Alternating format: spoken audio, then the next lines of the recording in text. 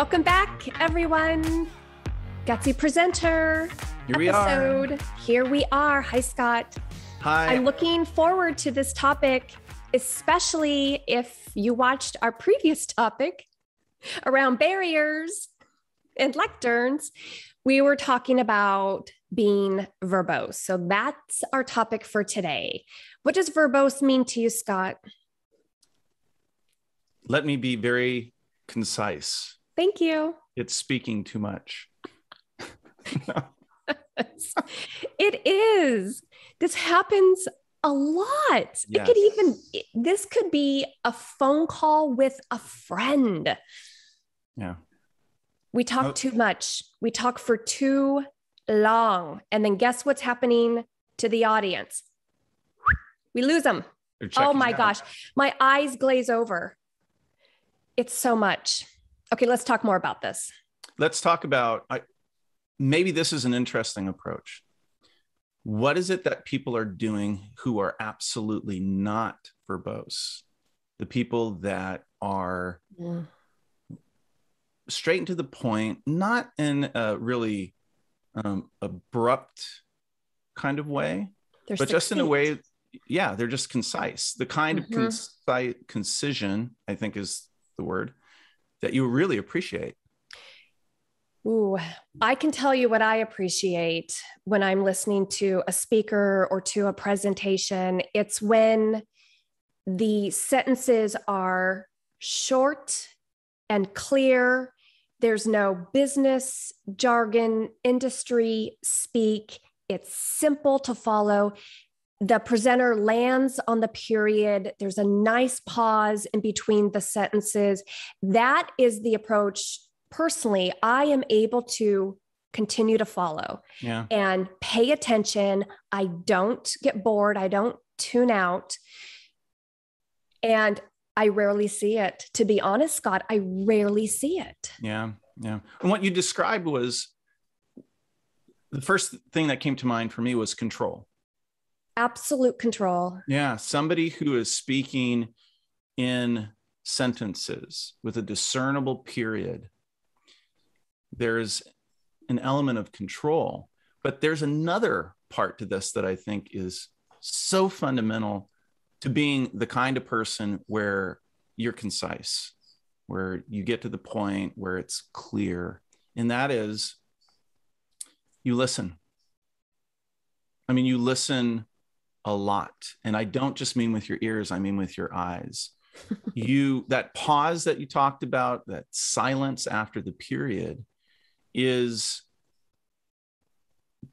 it's that moment in which the speaker is sort of wrestling with that fundamental question did that sentence get in? Yeah, they're connect they're they're paying attention to their audience. They're seeing how their audience is responding yes. to what they are saying. They're making it about them. yeah Uh, as opposed to the flip side which we know what that is that's a person who's just in getting words out mode they are Okay. just Let's- spraying words all over the place Yes, yes. Let, let's dig into that some more. Yeah. What I notice is a presenter, they have their important points to make, Mhm. and they, they will make that point. And then they want to keep adding to it. They're not trusting that they clearly express that point. So they keep adding and repeating. And the audience is, I got it. Move on. Let's move on. We need to trust that we're getting the point across and not having to continue to repeat it. Well, and, I'll add to that. We need to be observant and perceptive to know that it's gotten across because the audience, to a degree, is telling you that they got it. Yes, by nodding their head or Right. looking confused or tilting and Yes. squinting their eyes, they are communicating with the presenter the entire time. Yes. Or if you notice they're starting to multitask or their eyes are glazing over. Yeah.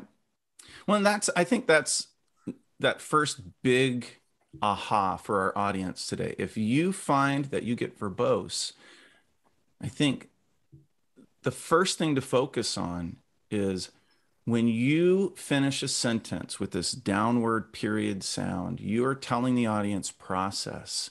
You've got to, on an almost sentence by sentence level, be very interested in what your audience is saying back to you. That will end a lot of the verbosity. I mean, it'll get rid of all the words coming out because you're recognizing that it's not just about the words getting out, it's more about what's happening in your head as a listener, right?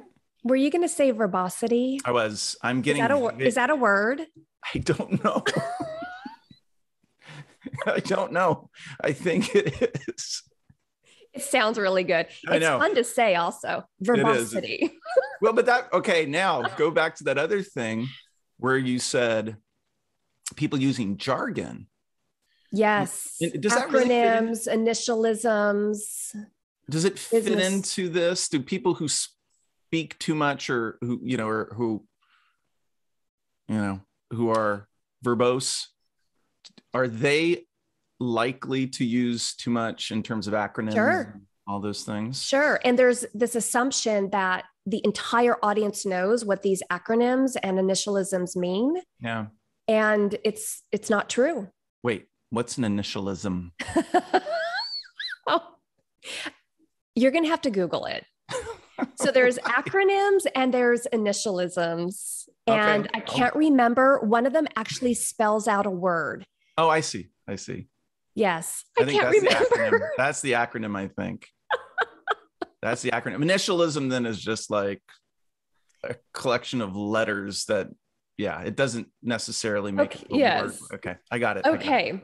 Either way, when we're when we use too much of that and make the assumption the audience knows what we're talking about, Yeah. you could be losing part of your audience. They're trying to figure out what it is.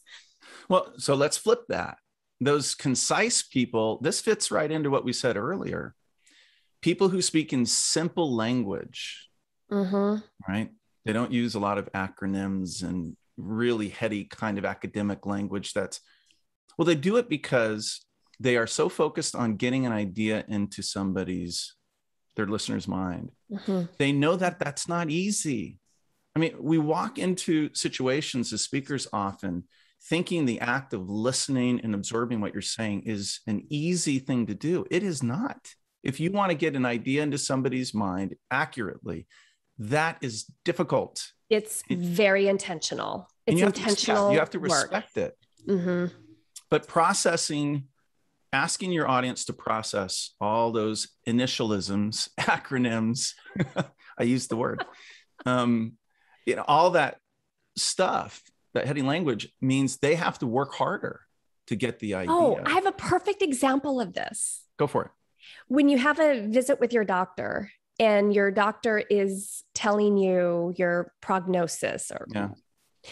and when they speak in doctor language you're sitting there going what in the world what is happening i don't understand any of this and then when a doctor is able to speak in the language of their patient it's a night and day experience Yeah, Totally. I do believe that we sometimes want to we we keep our message complicated to try to look and sound smart. Yes. And that I think it's doing the exact opposite. I know. I, It's annoying the listeners. and people will say, I don't want to dumb this down. I've I've had that reaction even in coaching people. dumb it down. It- It's you're not dumbing it down at all. You're making it processable. You're making it accessible to Mhm. the audience when you Mhm. speak in daily language.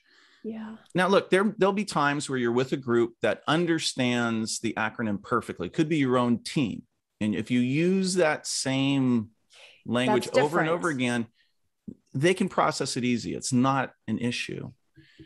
But the whole point, I think, you know, drawing this all together is this: people who are verbose, verbose tend to speak to get words out, right?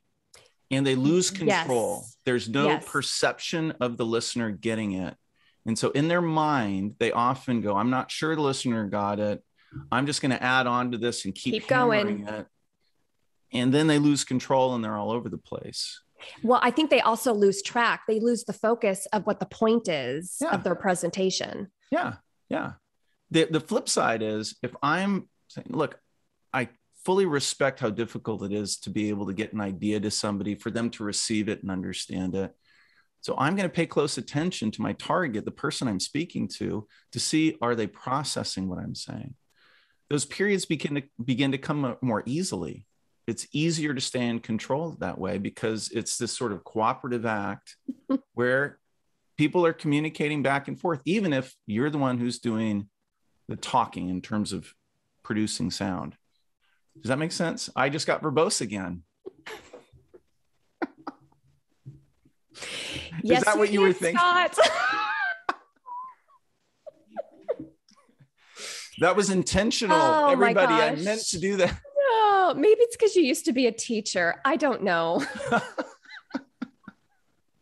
Well, we know what Scott needs to work on. Uh, it's let's wrap this episode up. It's just getting Okay, ugly we're gonna wrap this up. I have one tip around acronyms because they're just so common in the workplace.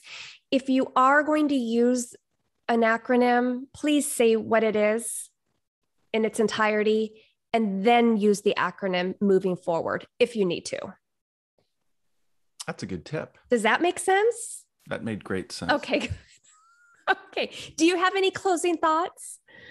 No. Okay. Oh, I love one word answers. Thank you. What are we doing next week? Next week, we have a gutsy guinea pig guest. Yep. Yep. Fun. So we are, we are going to again torture. No, we don't do that. Actually, these have been a lot of fun. We've They're been so having fun. with with um, coaching, and our coaches, our our gutsy guinea pigs, have come out saying that was great. So I'm glad we're doing this. Great. Yes, me too. All Thanks, right. Scott. Thanks, One everyone. We'll see you right. soon. See everybody.